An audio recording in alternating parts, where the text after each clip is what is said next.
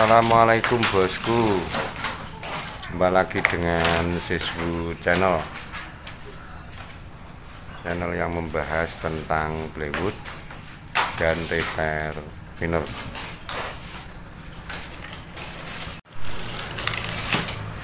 Kali ini kita akan menyaksikan proses merubah bahan dari shotcore jadi longkor gimana cara kerjanya? Kita saksikan bersama-sama.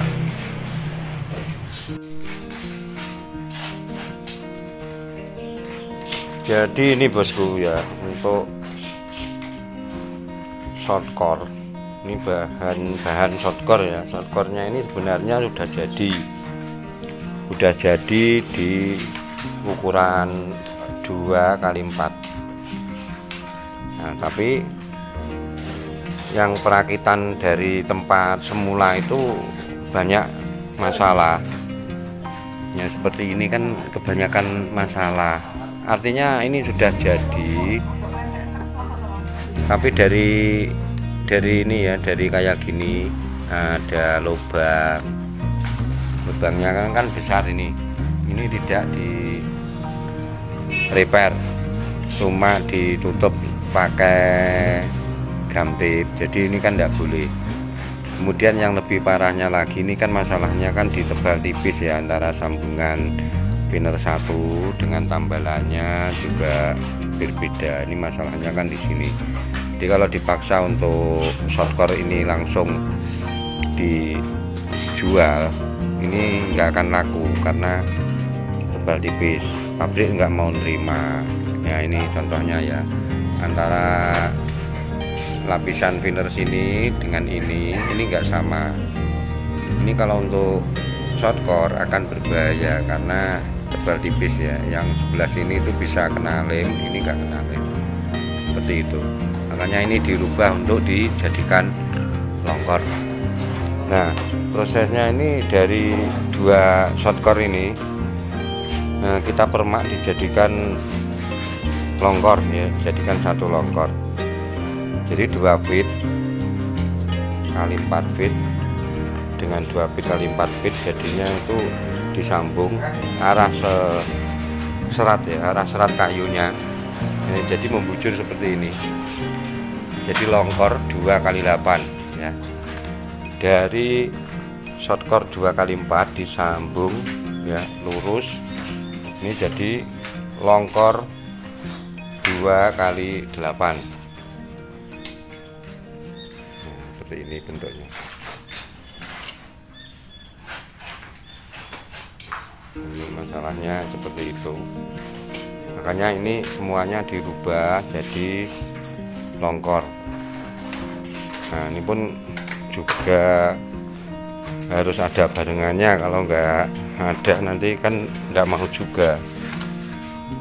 Jadi, kalau udah posisi longkor seperti ini nanti posisinya ini kan akan di tengah kalau jadi longkor. Sebenarnya tetap ada efeknya tapi kalau untuk lokalan juga masih bisa. Makanya dipermak dari shortcore 2 kali 4 diubah menjadi longkor 2 kali 8 nah prosesnya itu seperti begini. Kalau ini pas sambungan nah dikasih nah dikasih kekuatannya ada di sini. Jadi sekitar uh, setengah uh, setengah jengkal. Ke arah yang shortcore satunya ke arah shortcore satunya juga begitu. Nanti ada kekuatannya untuk membantu tidak rontok waktu pelapisan di mesin blue speeder. Seperti itu. Kebetulan kondisinya juga sudah mulai lapuk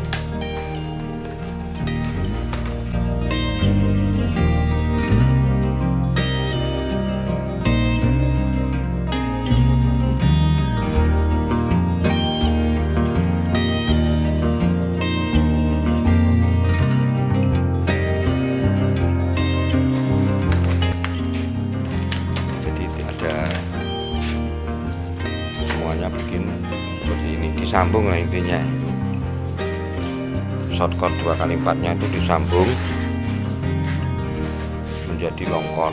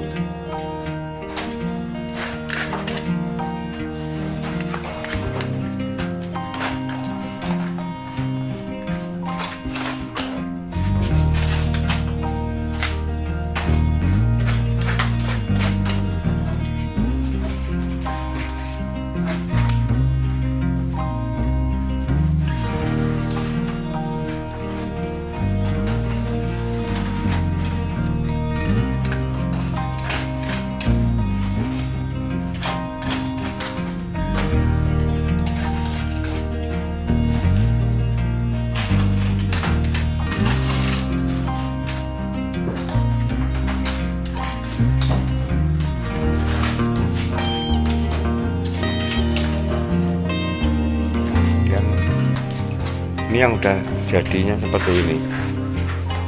Tapi nanti mau dikasih selingan ada ada longkor yang asli dari pembikinan sendiri. Juga ditambahkan di sini supaya tidak semuanya sambungan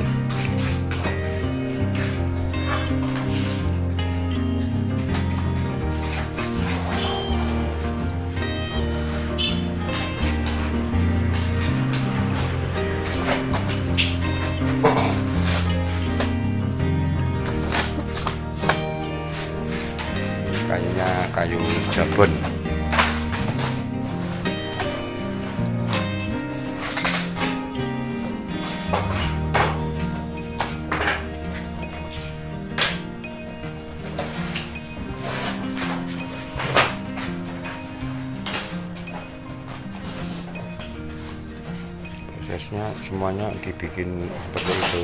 Jadi samping kanan samping kirinya itu dikasih semacam tambalan lagi. Jadi di dipermak seperti itu supaya ada kekuatannya ya. Nah seperti itu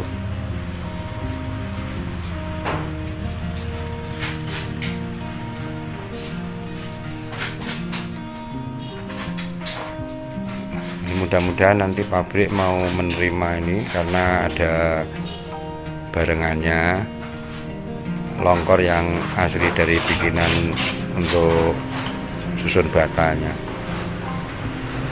ini sebenarnya untuk tambalan kanan kiri ini membuat supaya ada susun bata gitu kesannya waktu diangkat yang penting tidak abrol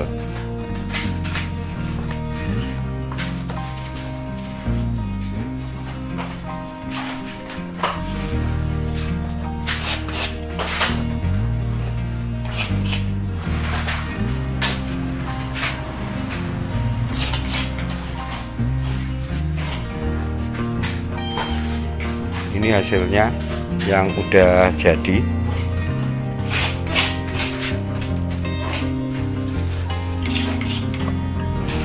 setelah dikasih 10 lembar itu seperti ini.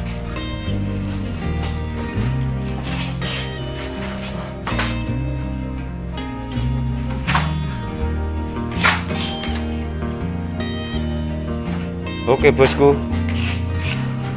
Gitu reviewnya untuk perubahan shotcore 2x4 ke longkor 2x8 terima kasih